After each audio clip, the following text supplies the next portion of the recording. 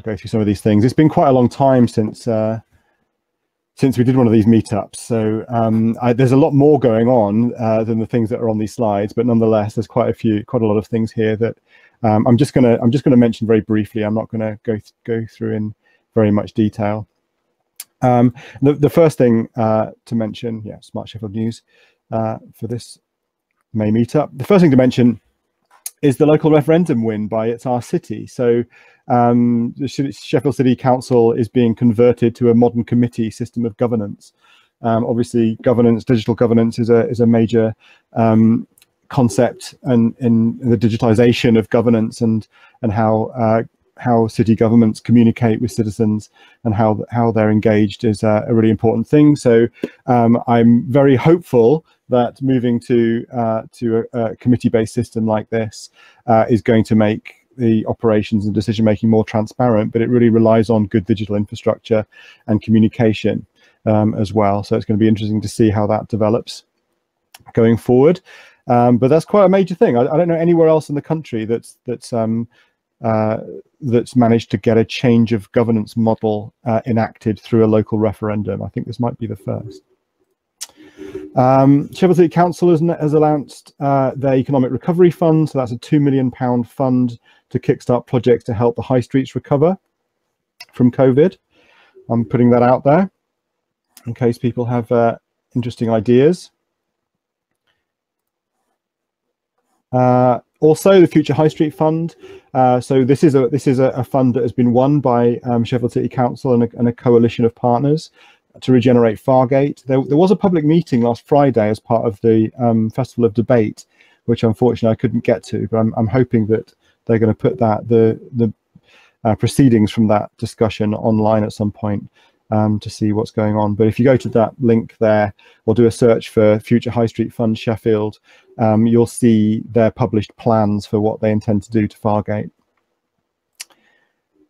Uh, obviously, the Fargate is one set of redevelopment, but Heart of the City is proceeding, of course. Um, but generally speaking, the, the whole of um, Sheffield City Centre's recovery from COVID is a, a very uh, important um,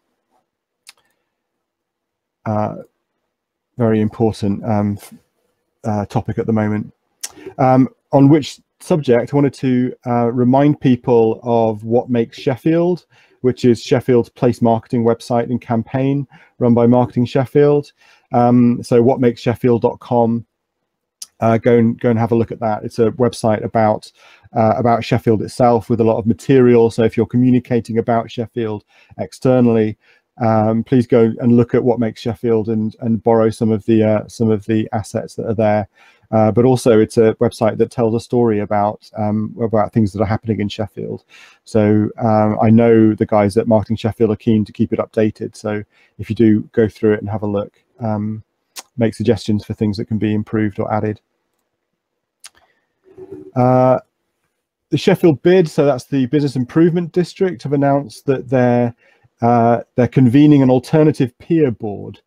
Um, and this is something, this is a, a, really interesting innovation. I haven't seen this anywhere else, um, but it seems like a really interesting idea to make um, access to decision making uh, more accessible uh, and more inclusive. So they're basically convening a board for people who don't want the responsibility of a formal board director role or don't feel ready to become a, a board director, but want to be more involved in the decision making and the activity of the business improvement district. So it's for smaller retailers, it's for independents um, who you know don't want a board position at the business improvement district, but uh, you know want to be members of this alternative peer board. So that might be something that, that other organizations could look at. Uh, to, to increase uh, inclusivity and engagement in decision making. Uh, also highlight the Bears of Sheffield. So the fact that Sheffield is going to be, um, you know, bringing 60 big or uh, hosting 60 big bear sculptures across the city um, and, uh, you know, create attractions and increase footfall and uh, and visitors to across the city centre. Obviously, there's, there's quite a big digital element to this with uh, the associated app and, uh, you know, the, the, the aspect of collecting um, all of the 60 bears. Uh, I think in, addition to 60 big bear sculptures, there's a, a hundred small bears that have been painted by uh, school children as well to, to find and collect across the city. So that's starting in July and will run, to, run till September. And hopefully it should bring some more footfall, um, not just to the city centre, but to, uh, you know, across the city and its neighbourhoods. Also on digital inclusion, um, Sheffield City Council have, have, convened a big digital inclusion summit. Um, there's another one scheduled for June. They had the first one last month. Um, and it's bringing stakeholders together to try and collaborate on addressing the digital divide across the city. Obviously a huge issue and a huge issue for smart cities. Uh, you can't have a smart city without smart citizens. This has been um, said many times before. Um, but they're, they're looking for, they're running a survey for anybody involved or interested in um, digital inclusion issues um, to provide information about their organization or their activity so that, um, you know, the, the summit uh, and stakeholders can, uh, can gain a, a proper picture of everybody who's working in this space across the city and you can go to this is this is where the um, the survey is hosted but there's also a load of information there about about the summits and and outcomes since the since the last summit. Obviously it's uh, the sheffield digital festival this week. Um, so there's uh, i think over 30 events going on uh, from today until the end of the week all around um, digital technology and activity. Um, there's a few things that I want to highlight in particular that are, that relate to uh, to smart cities. Um, but go and have a look at the Sheffield Digital Festival website and, and see all the events that are going on there. Um, this obviously this event is part of the Digital Festival. Obviously, um, I'm also hosting Geek Breakfast as I do every Friday morning. Um, so if people want to come along and talk about anything to do with digital technology from nine until about 10:30 on a Friday morning. There's an open invitation for anybody to come and join our Zoom, our Zoom call. Obviously, we used to do it in an actual coffee shop every Friday morning uh, at Tamper Sellers Wheel, and hopefully we'll be doing that again uh, in the not too distant future. But in the meantime, uh, it's all on Zoom. Uh, and this Friday will be kind of a festival special for people to come and talk about events they've been to. Uh, so the next event that's relevant is the Sheffield IoT meetup tomorrow. Uh, it's tomorrow lunchtime from 11.30.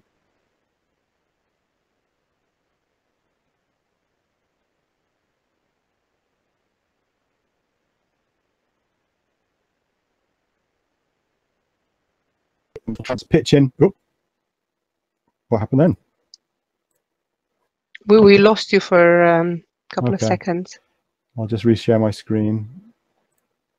Did you all did you all hear me talk about the Internet of Things Sheffield IoT uh, meetup? Was that the last thing? Yes, okay. correct. Yeah. So yeah, so the next event is uh, on Wednesday, and it's successful innovation in manufacturing using IoT, uh, which is an event by Pitchin. Uh, that's on Wednesday afternoon this this week. So uh, look for it on Eventbrite or on the Pitchin project website. Uh, Sheffield Digital have announced their mentorship scheme, so individual members of Sheffield Digital um, now also have access to um, to mentorship for their five pound a month. So this is for individual members.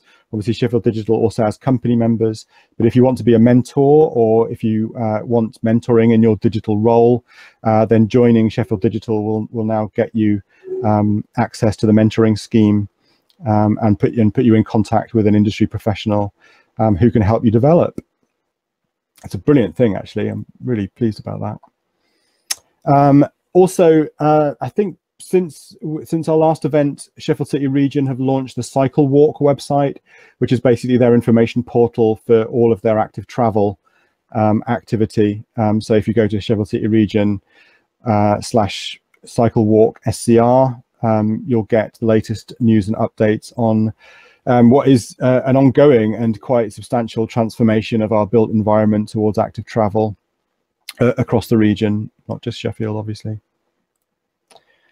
Uh, also, Pitchin Project have announced that they've got four-week student IoT placement. So anybody who's looking for um, a, a, student to come and help them with an I IoT project, um, there are students available via Pitchin in June and July to help you. Um, and a quick update from the Sheffield Things Network. So the Sheffield Things Network is the community-owned LoRaWAN in, Internet of Things network that spans Sheffield. Um, there are now 18 gateways commissioned across the city. Um, and there's a community of people who are building gateways and applications that met earlier today. Um, and if that's a community you want to get involved in, then get get in touch or go to uh, the Sheffield community page at the Things Network website. You can search for it, um, and you can join the community there. There's um, I think there's over I think it's 43 people part of the community, and they're all engaged in building uh, a, a super low cost Internet of Things communications platform um, that allows you to put sensors and, um, and nodes out into the environment that collect data and return it to a, to a central repository where it can be analyzed and visualized. So um, there's a bunch of projects that are now using or looking to use that infrastructure um, to, to generate new data sources across the city. Um, and that's very heavily supported by um, the Urban Flows Observatory and Steve Jupp, who's the technical director there. Okay, um, that's it. If you want more information about these events and want to be notified of the next ones, go to uh, smartsheffield.city and sign up. Um, and if you've got any news that you want uh, me to um, amplify and send out to, to our mailing list or present at the next event, let me know. Uh, it's info at smartsheffield.city or at smartsheffield on Twitter. Um, um, uh, as I said, um, I'd like to uh, so um, videos and slides of the of all the talks today are going to be available on the website at smartsheffield.city uh, in a week or so, hopefully, uh, including the slides if the speakers let me publish the slides. I haven't actually asked them yet, but and some of it may be confidential, in which case that's fine. But those that, that, don't mind me sharing the slides, I'll make those available as well. Um, I'm going to invite the speakers to all sit at different tables for a little bit in the uh, social lounge shortly. Um, but uh, in the meantime, um, I'd like uh, everybody to take a 10 minute break and uh, reconvene at uh, 25 minutes past seven. Um, so go and have a drink, or you can come back before then, of course, and sit down and have a chat. But I'm going to give everybody a 10 minute break to go and have a bite to eat and a drink and a, a walk around. And then um, please do come back and, and uh, join in the conversations and, and ask questions of the speakers. Uh, and of course, speakers, if you sit down at a table and nobody joins for a little bit, feel free to, to get up and go to another table in the meantime. Um, and so just finally, I'd like to say a huge thank you to Sophie and Martha and Richard, uh, and especially Paul for stepping in um, so late on.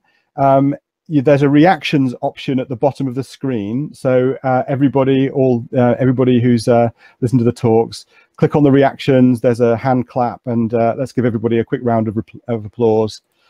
Um, thanks very much, everybody. Um, and I'll see you. I'm going to end the session now, and I'll see you all in 10 minutes or so in the social lounge. Cheers, everyone.